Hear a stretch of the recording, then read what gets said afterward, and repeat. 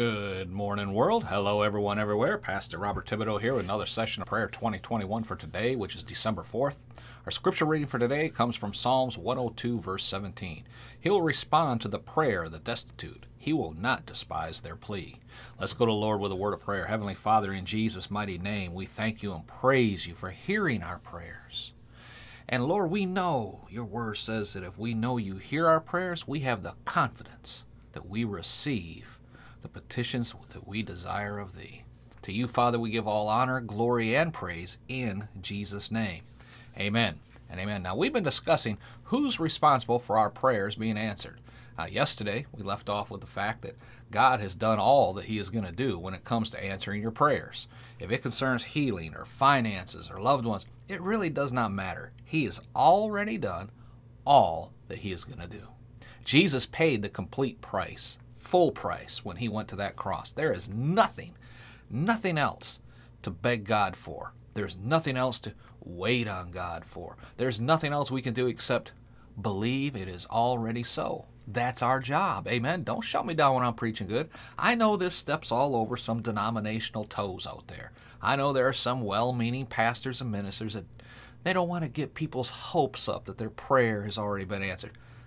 But the person maybe they can't appropriate it or whatever. So they don't want to disappoint them. They don't want to get their hopes up on this.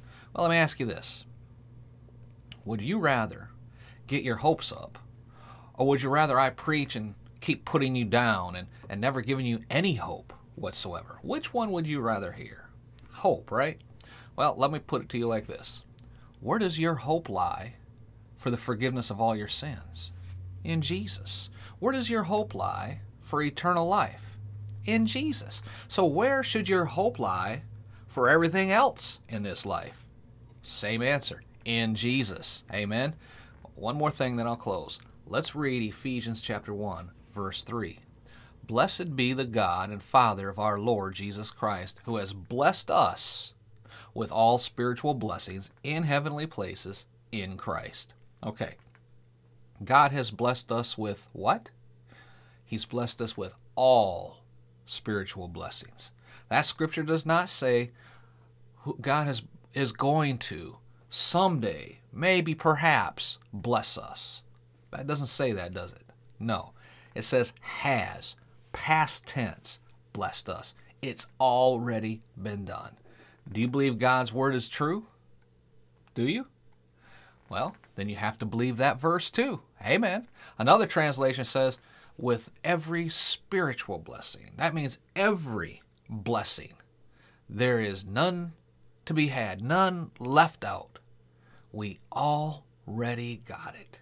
Amen. In Christ is all that we will ever need. All things have been provided for us if we will only believe it.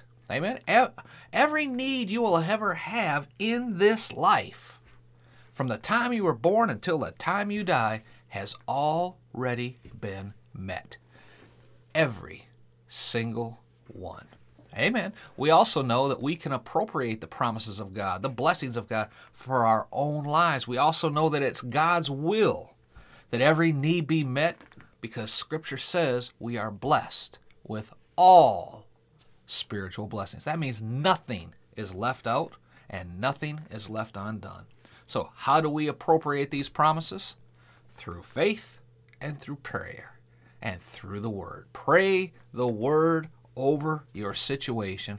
Believe by faith that the answer is already yours. For you are the one that has the authority, and you are the one that has the responsibility for your answered prayer. Amen. All right, let's pray. Father, in the name of Jesus, I thank you for for opening our eyes to the truth of this scripture, to the truth that, that far too many people, some of us, me as well from time to time, have been begging you to give us the answer to prayer when we already got it. And Father, we thank you and praise you for answered prayer. We thank you, Father, for provision in our lives. And we thank you that we receive it all through your word, through prayer, through and by Christ Jesus. We pray all of this in Jesus' name. Amen and amen. Glory to God. Do me a favor, share this out on social media far and wide. Somebody somewhere needs to hear this word this day. Praise the Lord.